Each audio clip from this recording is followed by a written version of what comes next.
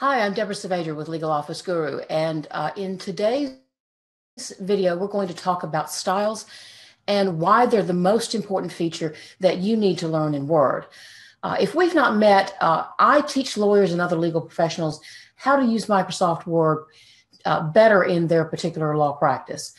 Uh, I'm I'm going to have to apologize in advance about my voice. Uh, I'm recovering from the flu right now. So, uh, a little pre Christmas flu. Thank you, CDC, for that flu shot that didn't really work too well.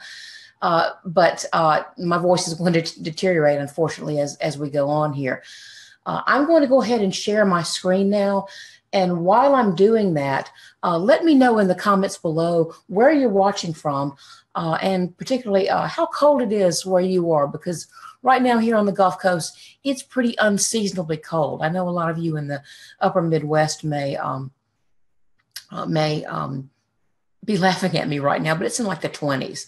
Uh, I'm not used to this, but uh, do let me know where you're where you're watching this from, whether you're watching this live or whether you're watching this in a replay. And I'm going to switch to my screen right now.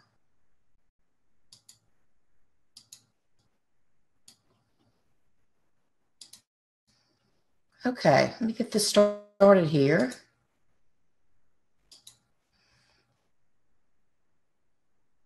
And first of all, welcome to the inaugural edition of, of 13 Minute Thursdays.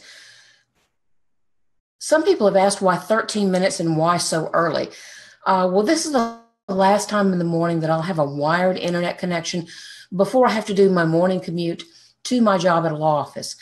I know this is really early for some of you in all your time zones. I'm guessing you'll catch this in a replay. But whether you're here live or viewing the replay, I'm going to do my best to give you a quick and easy training session with insights and tricks you can use at work starting today. I've surveyed my readers periodically, and hands down, the biggest source of consternation is styles and formatting. So I thought styles would be a good subject for which to start 13 Minute Thursdays. A lot of people tell me they don't use styles, and in one sense, they're right. They don't consciously apply and manipulate styles in their documents. They choose instead to do a lot of what's called direct formatting, like selecting text or applying italic or bold or adjusting the indentation or the line spacing. But in, in another sense, they're wrong. Every single piece of text in a Microsoft Word document has a style attached to it. You literally can't get away from styles. It's how Microsoft organizes the structure and formatting of a Word document. So if you understand more about how Word is already using styles and you learn how to manipulate those styles and create new ones for your needs, you can make global changes to your documents and eliminate a lot of the formatting frustration you're probably experiencing.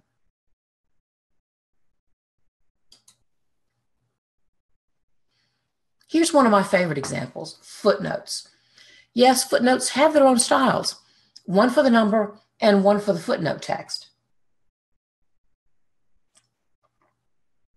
And if you've ever had to adjust something about a footnote text, say, for example, your court requires the footnotes to be the same size as the body text for a brief, or maybe you want a little more space between the footnotes, you've probably done what a lot of people I've seen do. Double click into each footnote, select the text, resize it, and rinse and repeat for every single footnote in the document. And if you later have to add another footnote, you have to go through that exercise all over again. Contrast that with what's being demonstrated in this video that's embedded in this slide. This is a side-by-side comparison showing how long it took me to do what I just described, the direct formatting method on the right, versus simply adjusting the underlying style for the footnote text. Now, this document had three footnotes, so it took me about 34 seconds to adjust all three of them, versus 14 seconds to edit footnote text style. But editing that one style means that every footnote, current or future, will now conform to the new settings. It's a global change.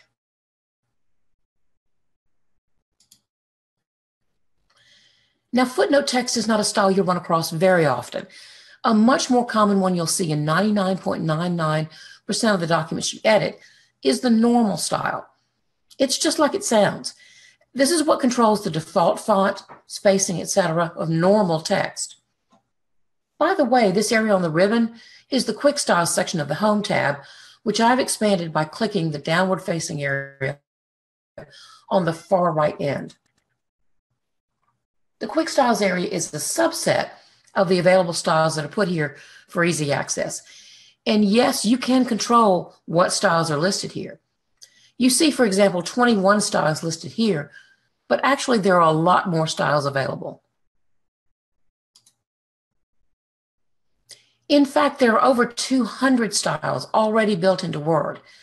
So if there's a particular type of text you want to control the formatting of, chances are there's already a style assigned to it. And if you don't like the formatting of that style, you're free to modify it to suit your needs.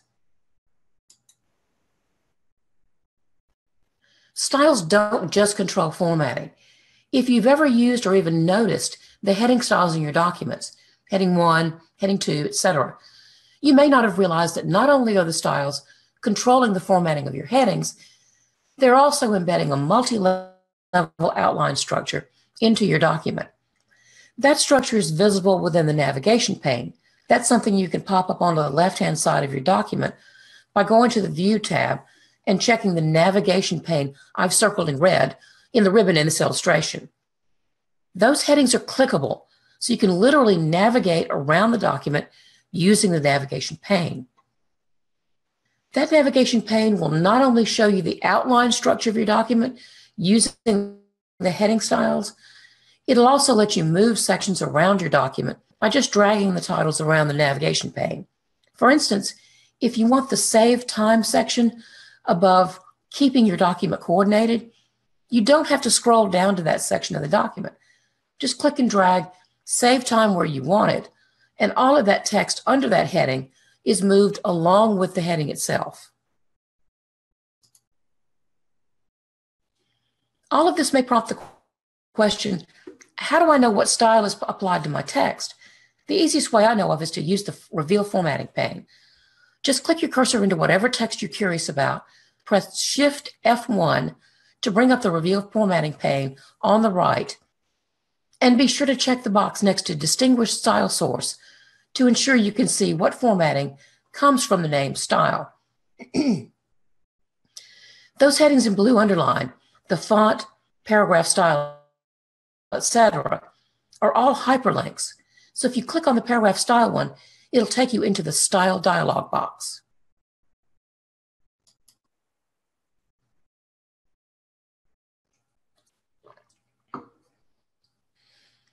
Once you're in the style dialog box, that style will be the one highlighted.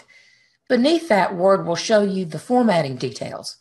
If there's anything you want to adjust, just click the Modify button to go to the Modify Style dialog box, shown on the right here. You can make most changes within the dialog box itself bold, italic, underlining, font type, size and color, alignment. But for most choices, or for more choices rather, click the Format button in the lower left hand corner to go to the other dialog boxes. And take a look at what I've highlighted in yellow. If you check that box, that will add style to the Quick Styles gallery you see on the Home tab so you can have easier access to it.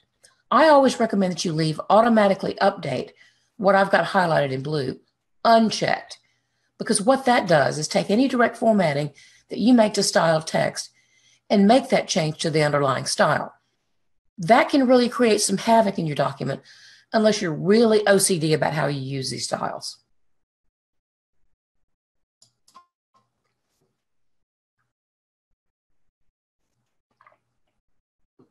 If a particular style is already listed in your quick styles area, you can get to that same modify style dialog box by right clicking on it and choosing modify from the pop-up menu.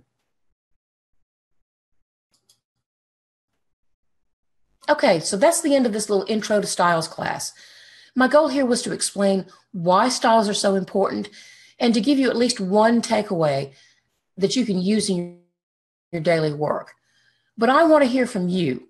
What questions do you have about styles? What sorts of problems are you running into? Are you at that, I don't even know what to ask stage? Or have you been working with styles and having some problems? I encourage you to leave those questions and comments in the comments section below this video because I want this series to be driven by what you need, not by what I think you need. Anyway, it's just about time for me to dash off to work. I've really enjoyed being with you today, and I hope you've gotten something useful from today's 13 Minute Thursday.